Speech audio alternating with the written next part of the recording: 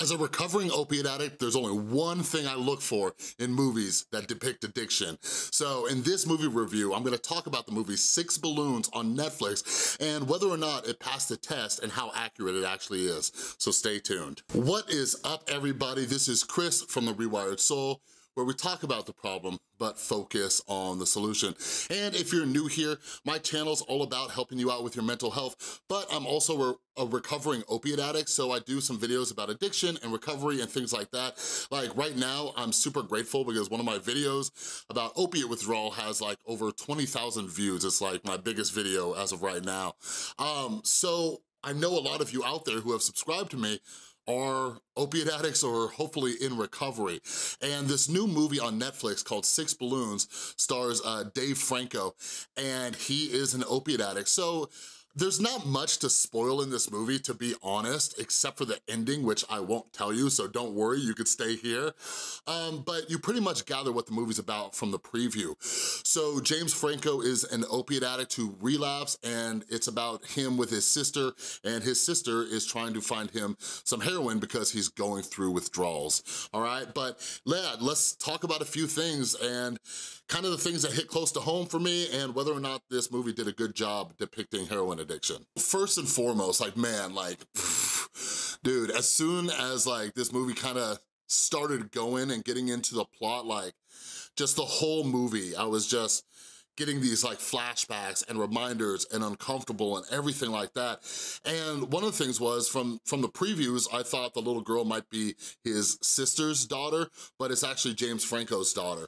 And like his daughter is about the same age that my son was when I first got clean from opiates. And like, it was messing me up. And like my son's actually here right now and he's in the other room playing video games and he was like coming in and interrupting me during the movie. And I'm like, man, this, this is nuts. Like, it's crazy, like, and there there's parts where, you know, he's gotta like score some dope and like use around his daughter and he's coming in and out of it and like apologizing and you could just tell he feels like like garbage and like I get that I get that. One of the worst memories I have from my addiction is my my son just wanting to play with me when he was a baby and he's just knocking on the bathroom door while I'm in there like crushing and snorting pills and you just, you feel like absolute garbage. And like there's a, like this misconception that like, you know, uh, us addicts and stuff when we're in our addiction or even before or after, like we just don't care about anything. Like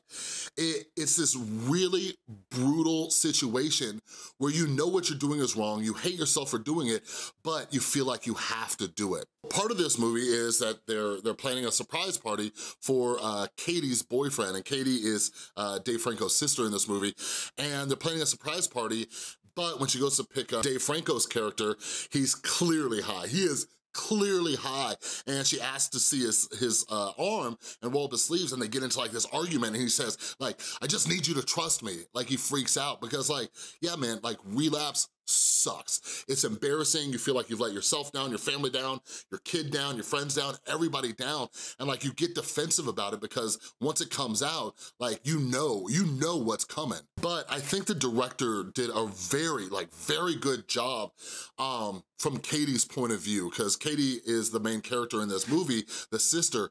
And like throughout the movie, um, there's this audio book that's playing and then, you know, when she's trying to help out her brother, like meanwhile she's missing from the party and people are blowing up her phone, then you got the kid in the background and like just all these noises happening at once, like I'm starting to get anxiety, like watching this movie, like that that's how it is. Like now I, I work at a drug and alcohol rehab clinic and sometimes, unfortunately, I gotta help people after they relapse. And like when you are just stuck in the middle trying to help somebody while everything else is going on. Like, it's crazy because then you have this like inner conflict happening too. Like, how much do I help? Do I help? You know, are they gonna be okay? Because throughout this movie, then uh, Dave Franco's character Seth has to ask her to go like score him some dope and buy him some needles, you know? And she has everything else going on. So she's stuck in a tight spot and just making decisions, go, go, go, go, go, right? Just trying to keep everything under control under this completely hectic situation. One of the reasons that um, she has to end up finding him some is because she goes to take him to detox and like, whew, man, when, when I'm dealing with people who are trying to get back into treatment or they relapse, or even looking back at my own experience, like, like you see his character going through just the myriad of excuses, right? I can't take time off work, they're gonna know. Then you find out his dad got him a job. So like, that's another thing that, you know, uh, he tries to use to not go to detox, but then they go and they don't take his insurance anymore, so they gotta find somewhere else. But then they get there and all the beds are full. And this is something, this is one of the reasons why I make this channel and I try to increase awareness about addiction. So please share this video because like there is so so little funding for this, even though it's like the biggest health crisis in the United States, but so many places are out of beds, just completely out of beds. Like there was one time here in Las Vegas where I was trying to help like two or three people just get to detox, like state funded detox because they didn't have insurance. And like the waiting list was like a hundred something people long. Like if you're an opiate addict, like think about that. A waiting list just to detox of over a 100 people, like that's like a week, two weeks, like could be a month. Like it's crazy. And like watching him just go through this struggle and oh boy, when he was going through these withdrawals, I was like, dang.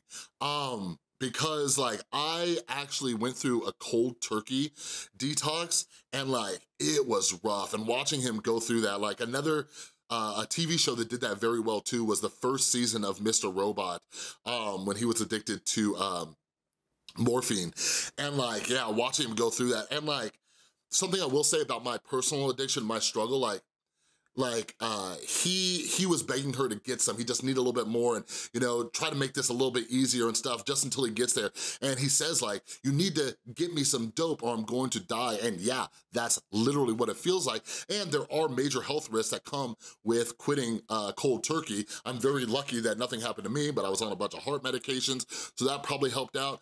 But for my personal detox, like, I don't know, like I was in such a bad state and like, part of the addiction, like I hated myself. I absolutely hated myself. And one way that I pushed through that cold turkey detox was just like, I deserved it. I felt like I deserved this pain, this agony, every ounce of it, I felt I deserved it. And I was at a point too where I didn't have um, someone like Seth had, I didn't have Katie, I didn't have anybody enabling me either. And I was just like, I'm not even gonna try, I'm just gonna go through this. But like I mentioned in my other video about my opiate withdrawal, like, man, like one way I stay clean is never forgetting how rough withdrawal actually is. And like, man, like this really, really reminded me. And yeah, so later after uh, after they get him some dope, it's crazy because if any of you know an opiate addict or an addict in, you know, any sense, like, like you can definitely relate to this like he he he looks like he's dying right? And he's just like vomiting and sweating and shaking and trying to like keep his legs under control. And then he goes and he shoots up and he is just a million bucks. Just like uh, not not even a million. He is like a billion dollars. And he's just happy-go-lucky. He starts playing with his daughter again and they're going out of the pharmacy where they just got needles and he's playing around. And then they get back in the car and he's laughing and joking around with his sister and stuff. And and I don't know, it just kind of brings her out of that mood. And this is kind of like what those um, those relationships are between an addict and uh, a codependent or an enabler, you know what I mean? Like, just like 20 minutes ago or an hour ago, like she was losing her mind and like, you know, yeah, it's nice to have like this like a little bit of uh, fresh air, like, okay, everything's cool right now. Um, but that's often how addicts keep this cycle going, you know? And the next part is, you know, he's telling her in the car too because she's she's still upset and she's like, this is the last time. I swear it's the last time. I know what I gotta do and I'm gonna do it. And like, like welcome to the club. And that's what we say. That's what we always say. We say, this is the last time, I know what I gotta do. Like, man, I work in a treatment center I have people who come back five, six, seven, eight times, right? And they tell me that the second they walk in the door, I know what I gotta do. I know what I gotta do. I know what I gotta do. And like, and it's, it's rough. Like, when do you believe somebody? Like, when do you believe them, you know? And it's hard because you can't believe them until you see them put actions behind their words. Like, something um, they, they start arguing about is like, you know, she starts saying like, listen, we've set a very low bar for you. Like just get clean and stay clean, that's it. You don't have to be like some kind of perfect angel, just stay clean.